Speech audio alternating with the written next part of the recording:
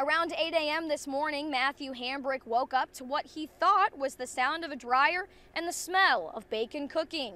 But as screams of a fire were heard from Jonathan Willis, he quickly became aware that he was sadly mistaken. For the town of Winterville, the Watermelon Festival offers the community an opportunity to mingle with their neighbors. I spoke with Jim Howard, our meteorologist, this morning, who said that we're looking at about four feet of storm surge, which is a drastic difference than what we saw during Hurricane Florence in 2018. What's up, everyone? I'm here at the Orlando Health Fortress at Full Sail University, and we are officially one hour away from the Hall of Fame induction ceremony. You can buy a new outfit or weapon for your video game character without even leaving the house. And now imagine that kind of unsupervised power in the hands of your child. $100 million worth of damage. That's what the city of New Bern was left with following Hurricane Florence. But spirits are high here after businesses and residents were able to bounce back following the storm.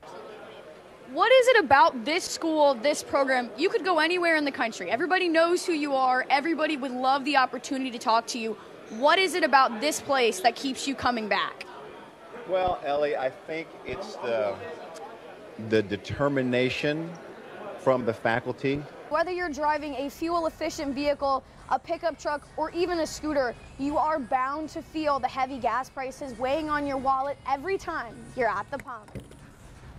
The homeowner has been cooperative with rescue efforts, and according to Party Farms Animal Sanctuary, 16 animals have already been removed from the property. He works in their Amazon warehouse unit and a lot of them just were focusing in on the fact that yes, his brain does work a little bit differently, but never once has he said, oh, I can't do that or I won't do that. He just uses that to his advantage all the time. This meeting between Biden and Xi Jinping is happening on the margins of the G20 summit.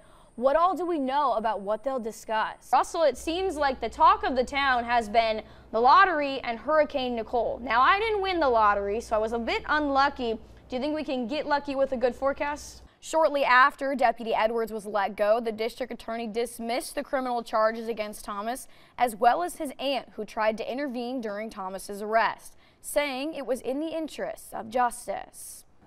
And we have more breaking news for you just now into our newsroom surrounding the murder in Kinston we just told you about. A man here in the east is in custody following a shooting that left one woman injured. Kinston police say Christopher Gordon of Princeton is charged with attempted first degree murder, first degree burglary, stalking, and assault. We are continuing to follow a developing story in Duplin County after deputies say two people's bodies were found in a rental home last Wednesday. Duplin County Sheriff's Office say they received a call about the bodies potentially being inside of the home at 187 John Rich Road around 3 a.m. Deputies found 68-year-old Leslie Savage and 72-year-old Craig Smith dead. Deputies say Savage lived at the residence and believe Smith recently moved in. A nearby neighbor tells WITN they saw investigators wearing hazmat suits on the scene the next day. Duplin County Sheriff's Captain Scott Kennedy explained why. Our investigators are always very careful as far as making sure that we're preserving uh, the scene and and uh, collecting any DNA evidence and, and any any evidence that when it is collected that it is uh, collected properly. Deputies say they have persons of interest but haven't made any arrest yet. Captain Kennedy says they're offering a $5,000 reward for any information that leads to an arrest and convictions of the persons responsible. Friday will be four weeks and I have not heard from or seen my son. For Sonoma Jefferson, the last month has consisted of search parties and press conferences as she continues to look for her missing son, Khalil Jefferson, who was last seen along the Greenville Greenway. Jefferson has said that her son, a veteran, had left a note indicating that he may have intended to harm himself it's something that resonated with one of the volunteers, a Marine veteran himself. Feeling like that you're all alone and nowhere to turn, and you just get into a, a mindset that you're just at just low, and it's a low that you can't really describe. You know what I mean? And, and you feel there's only one way out. And as Sonoma works to keep her spirits high, Greenville moms are banding together to make sure she knows she is loved and supported by the community her son was a part of. No mother should have to deal with this.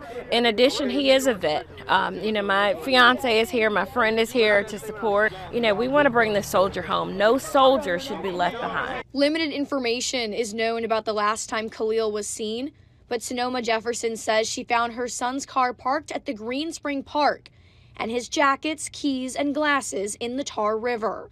On their hands and knees, strangers, friends, and loved ones spent their time supporting Sonoma. They're just doing it out of the kindness of their hearts. They're they're they're taking time out of their day um, where they could be doing anything else. You know, we're still in the holidays. New Year's is coming up, and people are taking time out of their day to come to help me to find my son. And the search will continue on as Sonoma Jefferson says her hope is still alive for her son's return.